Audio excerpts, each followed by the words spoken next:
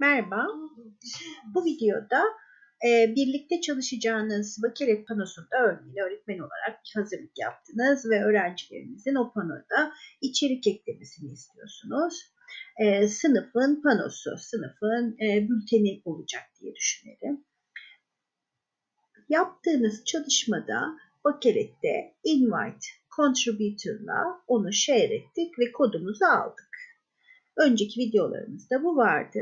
Benim yapmam gereken şu anda elimdeki o kodu öğrencilerle paylaştığım kodu öğrencilerin Vakelet.com sitesine girdikten sonra herhangi bir üyelik yapmadan Enter kod üstteki Enter koda tıklayıp Enter Contributor kod kısmına o kodu yazıyor olmaları lazım.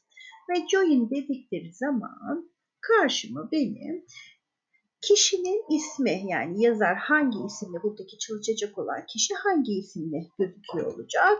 Onun ismini yazıyor olacağım.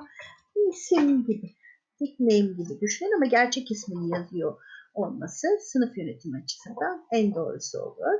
Ve ben girdim.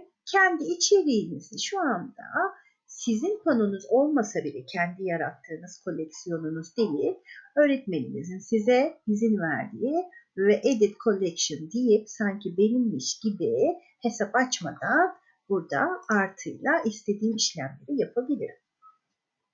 Çok güzel değil mi?